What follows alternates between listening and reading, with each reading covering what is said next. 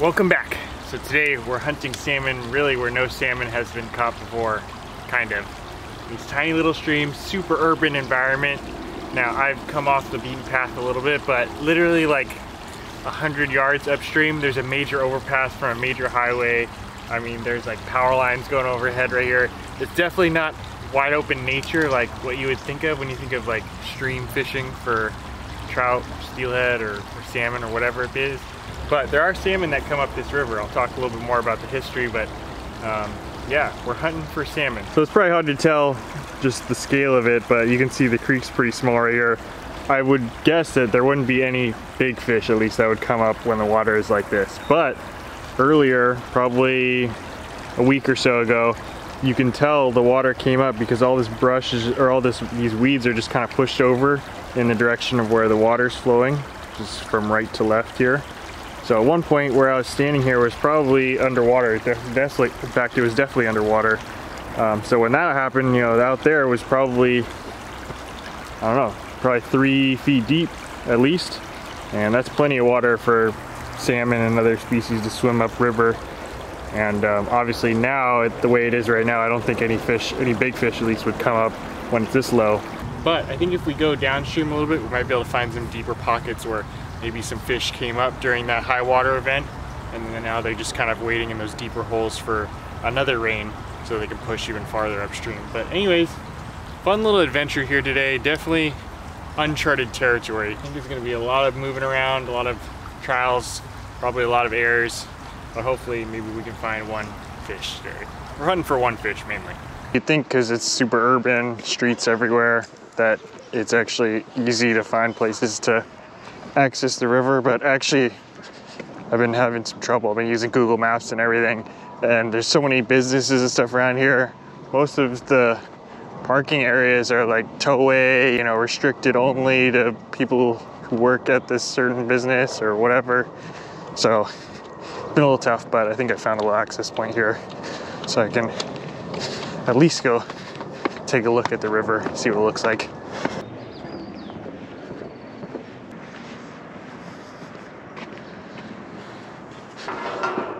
Oh, I went way downriver. And I'm up on a bridge here. That's what the river looks like. A little bit murky here, but the water is definitely deeper. That's plenty of water for fish to come up. It's gonna be tough to find a fish in here, I think. Unfortunately, you can see the trash that's in there. That's one of those rental bike things, Lyft or lime bike or whatever. Unfortunately, there's so much trash in these rivers, creeks, but... Parking? Oh, that's fine. Two hour limit. We'll be in and we'll be out. Two hours. All right, got two hours. Not that they're gonna check it.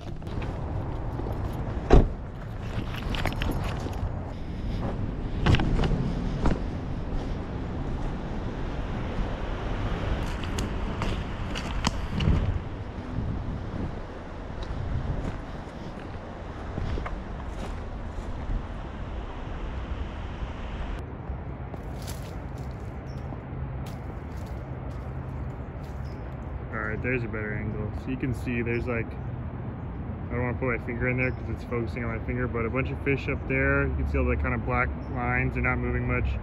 And then you can really see that one right there. That is some kind of goldfish or koi that someone probably illegally released into this creek. But yeah, quite a few fish in there not the salmon that we're looking for, but those are the first signs of life that we've seen. So all I'm really doing is just kind of walking along the creek. There's a, a trail here, walking trail, and then just every time there's a little access point, I'll kind of walk down to the river, take a look, see if I see any fish. The river creek is so small that if there were any salmon in there, you can easily see them. So no need to even really cast it, even bring my fishing rod this time. I've parked a few times, few spots along the creek here, went upstream, downstream. And uh, the water looks nice. I mean, there definitely could be a salmon there, um, but haven't seen any yet. Keep looking.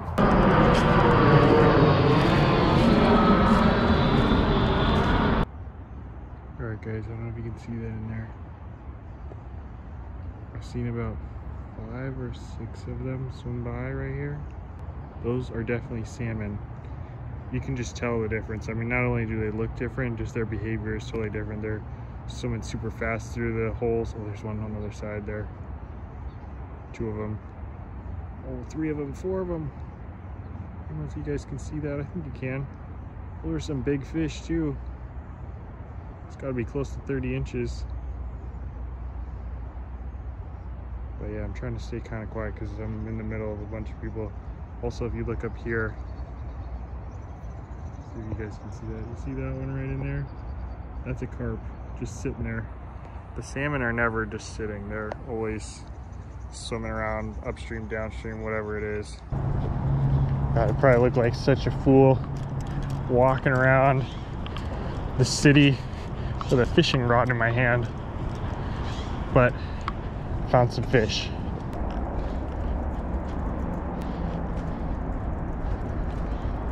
Okay, so that last clip you saw where I actually saw the fish, I was standing on at this portion of the river, but over on the other side of the bank there. But as you can see, there's like a steep bank on that side. If I hooked a fish over there, there's no way I'd be able to bring it up because I can't get down to the water. But here, here I can't get down to the water and because this river is so small or this creek is so small, I'm going to be casting into the same little area. So I can't see the fish from this side because of the way the glare is, but I know they're in there somewhere. Here's a few of the spinners I'm gonna throw here. I like these. This is a nice one right here. Spinner with the little skirt orange. I like this one actually. It's a little bit smaller and because this creek's a little bit smaller, more shallow, I think this one's gonna be better because I don't want it to sink too fast to the bottom. So with this one. All right, here goes nothing. Like I said, I can't see them from this side of the bank, but I know they're in there somewhere.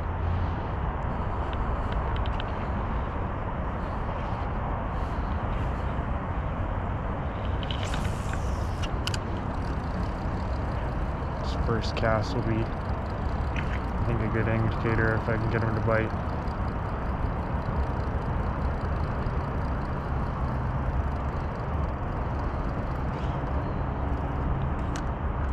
No followers on the first cast.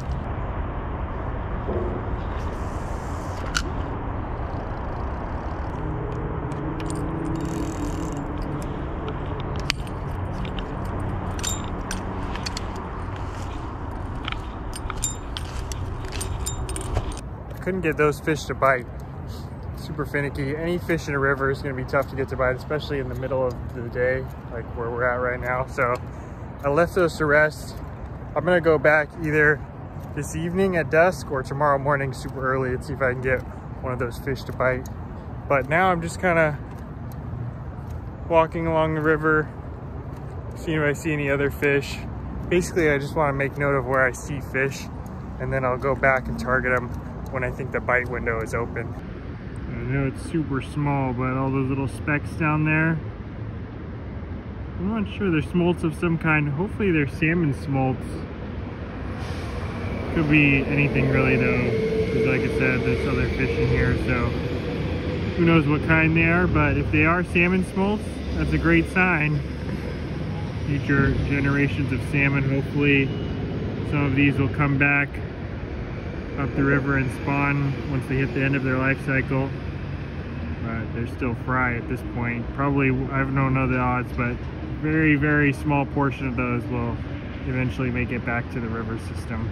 I tried casting a little pot of fish again, but I don't know, I didn't see them this time. Either I spooked them and they moved on, or maybe they're just really hunkered down, hiding out. Maybe I spooked them just from checking them out a couple of times. So unfortunately, wasn't able to catch any, but I did see a couple today. And what I'm gonna do now is I'm gonna go home and get everything ready for tomorrow.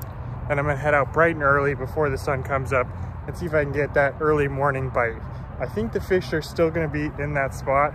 There's gotta be at least, I wanna say at least six or seven fish that I saw swimming by. And there's not enough water movement for them to go too far up or down the river. So I think they're gonna be kind of stuck in that little pool for the time being. and hopefully maybe tomorrow they'll be a little more active, maybe a little more willing to bite something. As I've said previously with previous river missions, it's really tough to get them to bite in the middle of the day. But today was productive. We found a pot of fish, which is better than we the data we had earlier today. So hopefully we can capitalize on that tomorrow morning. We'll see you guys in the morning.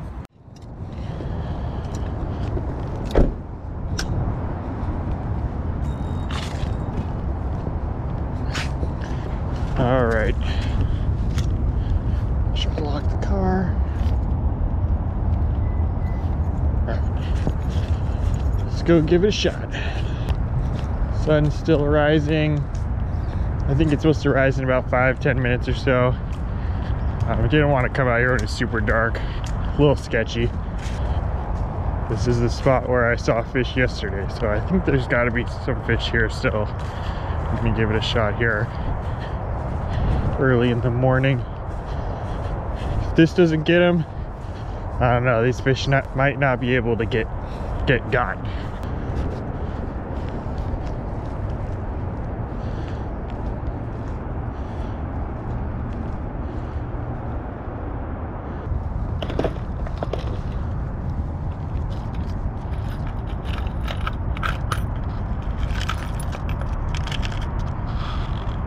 Gonna start off with this guy right here. Little Blue Fox spinner with a chartreuse body.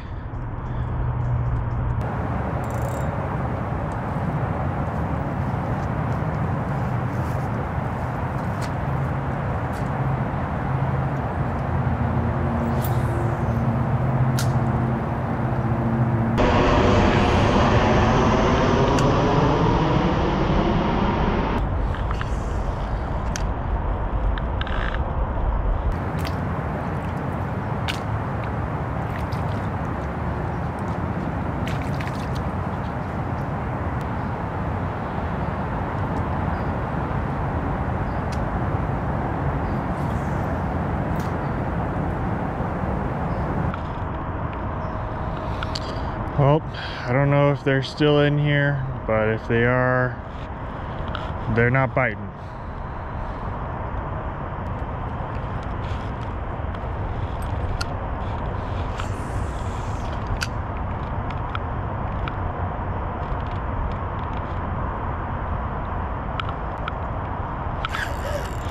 Oh, I got one. I got one. Right when I said they're not biting. I got one. I got something. I don't know what it is. Dude, I gotta believe this is a salmon hitting that spinner though. Yeah, it's a salmon. Oh my god, it's a salmon. I got one. Right when I said they're not biting. I didn't think they were gonna hit it. I've been casting there for a few minutes now. But I got one.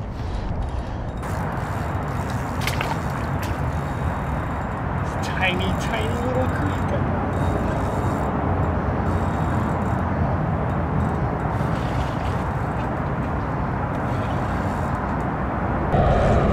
You hear the plane going overhead?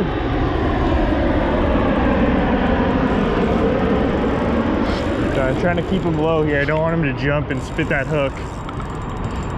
Using barbless hooks here, so that hook could come out at any moment honestly i'm i'm happy just to hook this fish but i do want to hopefully show them to you guys for a second here.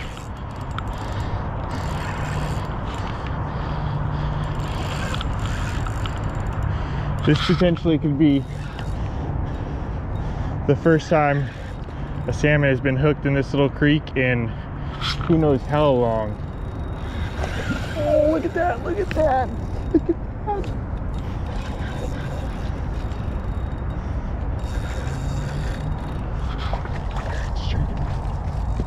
guys a little closer here. Oh.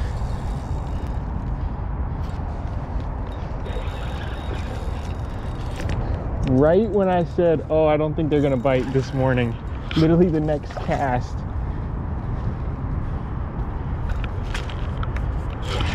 I cannot believe that.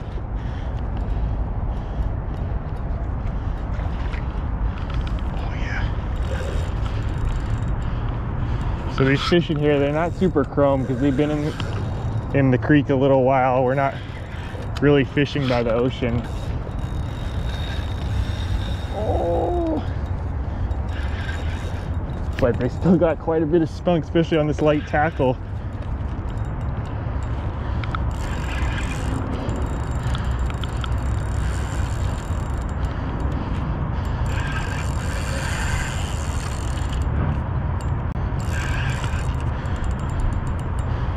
Dude, this is two days, a two day mission coming to fruition right here. This is all culminating in this one little fish. Well, I shouldn't say little, it's a good sized fish.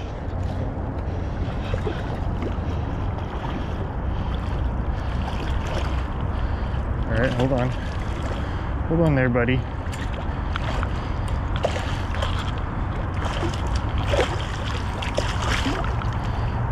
Just gonna show them off to you guys for a second here. Don't want to put this fish through too much stress, but just want to show you guys for a second here.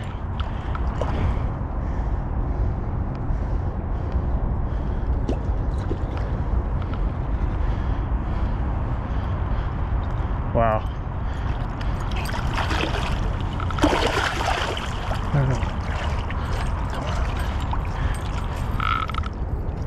Oh, I got him. I got him. Okay.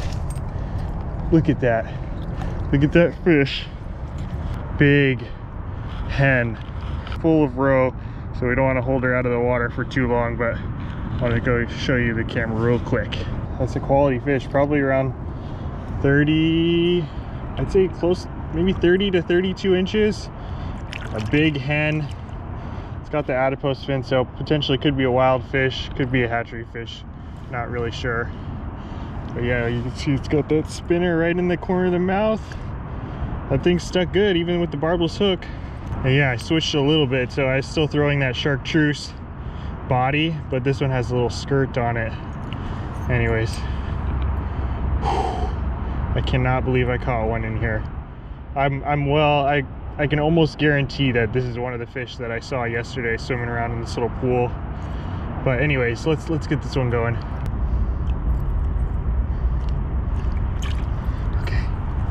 All right. See this fish? It's a sign of things to come for this little creek. Getting some water through the gills. You can tell she's getting ready to go. Yeah, she's ready. All right, there she goes. Off of the kick. That's why they call them silver bullets. Well, to be honest, I didn't really think I was gonna get one after I threw in there for, I don't know, I wanna say like 10, 15 minutes already and didn't even get a sniff. I, I could see the water, it's pretty shallow in front of me and I wasn't any chasing my lure in back or anything, but it's crazy. Right after I said to you, I was like, ah, I don't think they're gonna bite here this morning. It's not looking good. Literally next cast, bang. And I thought, honestly, I thought I had stuck the bottom because it just, it just hit it and it was just a thud. And then I felt a little bit of tugging and a little bit of head shakes and then obviously I knew it was a fish at that point. And then, you know, the rest is history.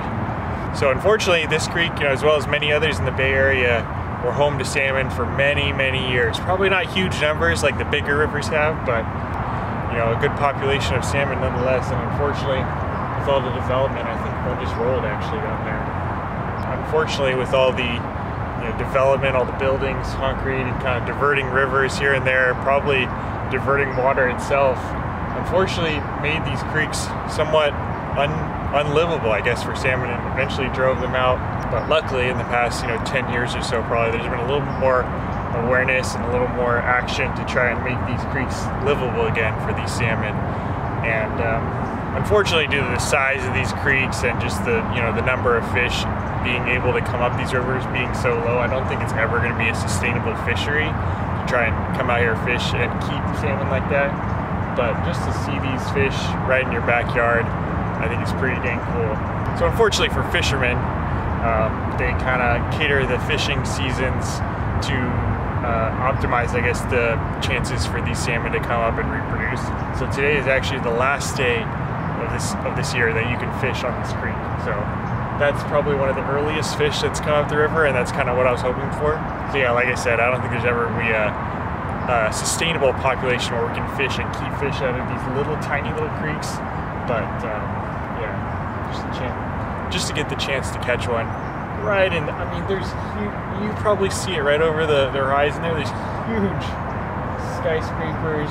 I mean, airplanes flying over. There's a highway right next. I mean, yeah, it's just amazing that these fish, amongst all this like pollution and dirty water and concrete and everything, that these fish are able to survive and get up to these little creeks and spawn. So, so yeah, just another reason to love salmon. I guess they're just such resilient fish. Unfortunately, for these fish and you know for the health of this river, I mean, look at this. This is where I, that's where I just was and where I caught that fish, right down there. I mean, right next to it. Look at this, just piles and piles of trash. Unfortunately. And if you're interested in helping this situation, there's a couple of great nonprofits that uh, help do these kind of river cleanups and stuff. I actually did one last season along this exact river. So yeah, I think that's how we're gonna end it right there. Awesome way to end this little two-day mission. You know, I searched up and down this a couple of different rivers, probably covered 10 miles or so walking and finally found a little pot of fish. You know, might have only been five or six fish, maybe even less. I don't know. I gotta believe there's probably some male buck, you know, buck seal or uh, salmon or a couple of jacks probably following that big female up this river. But anyways, not a huge number of fish by any means. And uh, luckily, you know, got one to bite right in the nick of time. But yeah, I just feel super, super lucky to get one out of here right out of my backyard. Just crazy. Crazy how these small, small little creeks can hold such big, big salmon. The same salmon that I'm catching out in the open ocean, you know, 30 inch plus fish, ended up right right at my backyard. You know, if you know anything about the life cycle of salmon, you know, that fish will probably lay, I, I don't know how many eggs, thousands of eggs I would assume. And, you know, hopefully, you know, two to three probably of those fish will survive and get back up to this creek, you know, do the whole thing again. And maybe along the way I'll catch one of its offspring, you know, in a few years out in the open ocean, never know. Maybe one of you guys will catch them. But anyways, like I said earlier, I just kind of want to end with a, a note, like thousands and thousands of years, these fish populated these little creeks and streams right here. And it's unfortunate that with, you know, all the buildings and all the construction everything that goes on in the Bay Area, it's unfortunate that those fish got pushed out. And um, it's cool to see those fish coming back, and I hope they continue to grow in numbers because I'm pretty sure there was no awareness at all up until probably a few years ago. And it sounds like, it looks like their populations are starting to rebound. So I think that's that's all in all a great thing. Even if it's not for fishing, just to see them up in these creeks, I think it's pretty cool. So anyways, catching a fish where no fish has been caught before, kind of. I mean, I'm sure they were caught here way back, but I think in recent years, probably not too many, if any, salmon were caught by fishermen in these little creeks. So really, really lucky to be able to shake tails with that one right there. But yeah, like I said earlier, I'll leave a couple links down the description if you guys are interested in helping out these salmon. But we really hope they can continue their rebound and just continue that population increase year after year. But anyways, thank you guys for watching. Hope you guys enjoyed it. See you guys on the next one. Oh shoot, forgot. I was in two hour parking. It's a good thing I caught that early. Or I would have got a ticket had I not realized that.